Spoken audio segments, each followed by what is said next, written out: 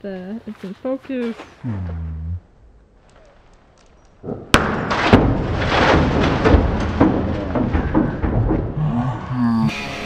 Over the last four years, I've been making adventure films out of my Sprinter van. Now, together with my wife Janelle, we are finally giving our van the build out it deserves.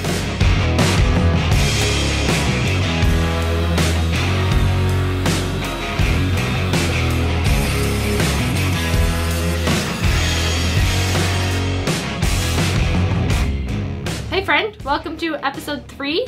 A van build 2.0. Woo! Episode is all about rest. My- The thing I hate the most in regards to van life. Before we dive into it, I just wanted to let you know that this uh, episode is brought to you by the Adventure Film Academy. And last year I did a workshop on a sailing trip, which was a lot of fun. And the biggest response I got back from that is people being like, when are you doing that again? Because we didn't get to go and we would like to. So this year we're doing two sailing trips in the second half of May. The dates aren't fully finalized and announced, but they're gonna be five day trips. So go to adventurefilmacademy.com to find out when more information is available. So Rust, babe, wanna tell them about the Rust? The rust. We kind of always knew our van had a rust issue, like it was pretty obvious, you could see it. We initially thought to just solve ourselves, all of a sudden became a bit of a dilemma. We're like, what are we gonna do about this? So there's kind of two types of rust that I just want to touch on here at the beginning. Not an expert on this stuff, but basically there's surface rust and then there's rust that actually erodes the material and like rots it out from the inside. So surface rust, thankfully you can just grind that away for the most part, repaint it, and for the most part that's good to go. Hmm. The other type of rust gets into the actual metal itself and rots it from the inside out. And that's what we started finding. A little bit more of that. You could like poke it with a screwdriver and just start like flaking apart. And we're like, oh dear.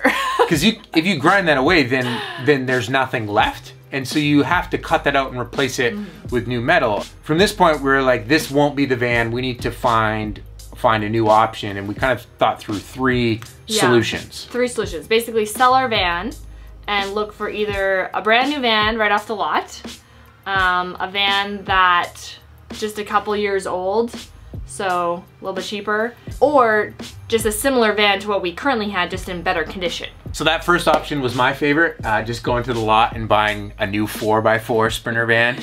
That would be the dream van right there. But it basically just any new van from the lot We just knew right off the bat that we didn't have the money for that. we're in our mid 20s. We haven't uh, amassed enough capital to pull something like that off yet. Yeah, and we didn't want to go into debt for this.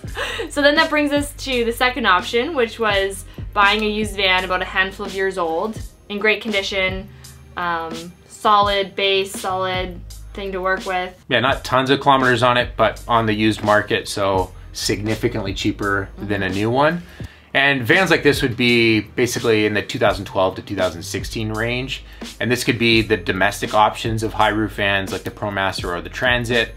And there's a lot of sweet options in this category, but so a new van, so we're gonna talk in Canadian prices here. Like a new van from the small research that I was doing was between forty-five and seventy thousand dollars. Seventy thousand being like the four x four versions in Canada, and then a used option, handful of years old, depending on what kind of condition it is. Like an amazing deal on a van like this felt like it'd be $25,000 or something like that. But oftentimes they would go all the way up to 35, 40, even $45,000. So if we we're giving ourselves advice, we'd say go buy one of those. Yeah, that seems like the obvious answer. Just go buy one of those vans.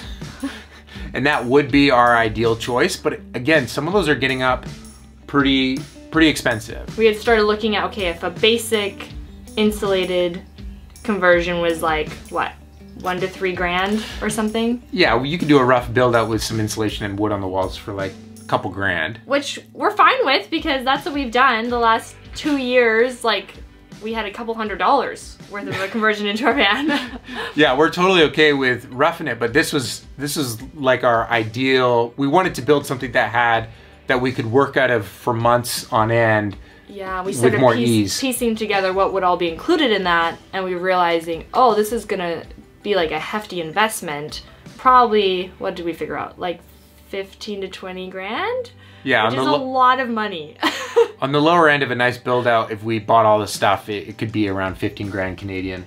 And then if we bought some of the nicer variants of stuff, we could get all the way up to $25,000. yeah, and we were remembering when you bought the van four years ago, you basically, I spent all my money on the van. and then there was no money left for the conversion.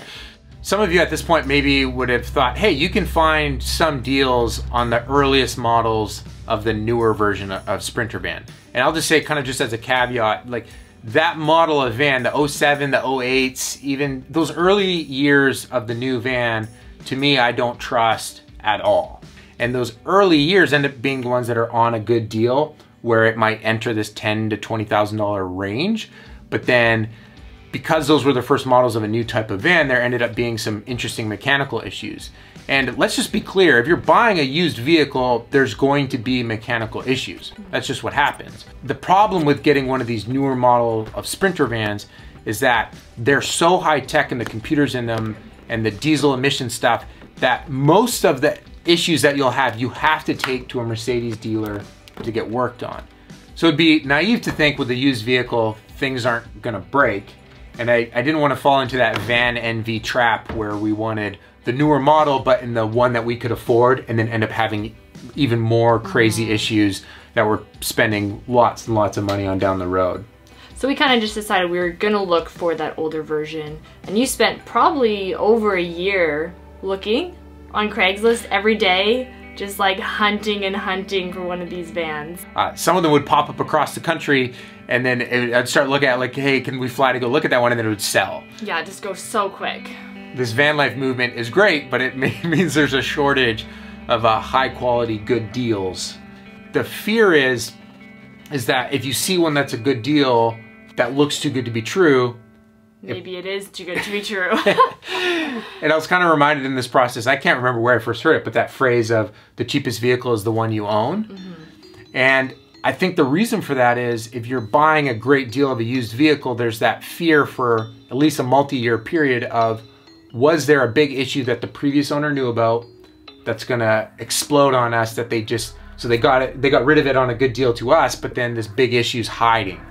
So it feels like in some ways our hand was forced a little bit into keeping our van Florence. So it's not necessarily the sentimental value. I was I was okay to move on from this van, but we just could not find one that felt like it was a great fit for us or was even affordable at all. So that way we could still have money left to do our build. so once we decided that we were gonna keep our van, we started looking for a local auto body shop because we needed some help with the rust. The amount of shop time to replace sections of metal starts to get up there. So even a repair of that magnitude starts to cost a lot of money, even if you go with the most budget person. So that's where we started looking to do a service trade, where Levi could make the auto body shop good videos. They could, in return, do some rust work for us, and we found one.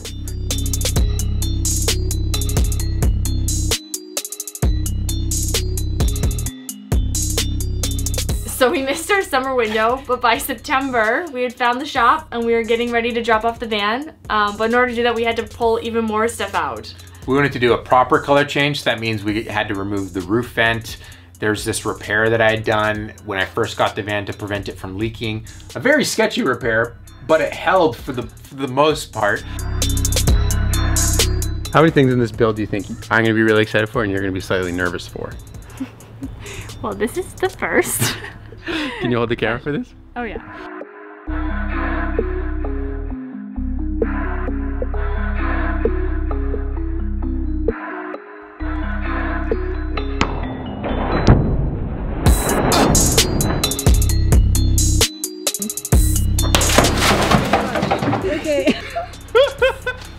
it just like gave. Like there's- Imagine it went to the next window.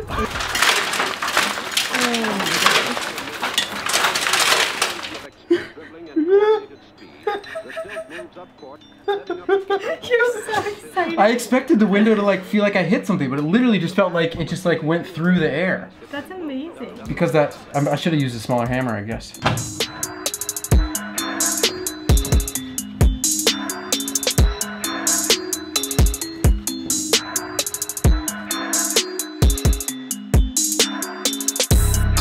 Shop got right to work and we were expecting to have to leave the van there for about a month, but within days they had it totally torn apart and they were like just going for it. I got to come in and film some of the progress there, which was fun. And there was really rusted out areas around the window edge. We pulled the main windshield out and did rust treatment around all that. And the bottom edges of basically all the doors were completely rotted out. So they were replacing that with new metal. Mm -hmm the time I got the van stuck back in the day and made this big dent in the bottom corner. They're basically doing body work that was way outside of my experience or I just would have no idea of how to do myself. Yeah, it was so relieving. Just to like have someone taking care of the van and doing it properly.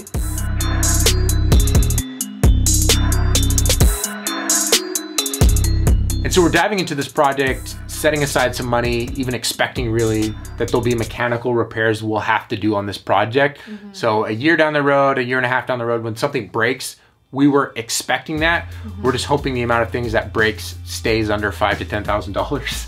and uh, if, if things don't break, then hey, that's just more travel money. But a cool part of the collaboration with the shop was we could tackle some of the stuff on the inside to keep the overall project cost down and, and even those projects ended up being more intimidating than we'd expected. We'll do a future video kind of walking through that stuff. That's a look into our van rust story. Maybe you're ready for us to just get into the build and boy are we too. yeah, uh, we did so not ready. we did not expect to be doing so many steps to just get to stage one. But I think at the end of this, we'll end up feeling a special kind of ownership over this build. Mm -hmm. And uh, hopefully she treats us well for, for years to come.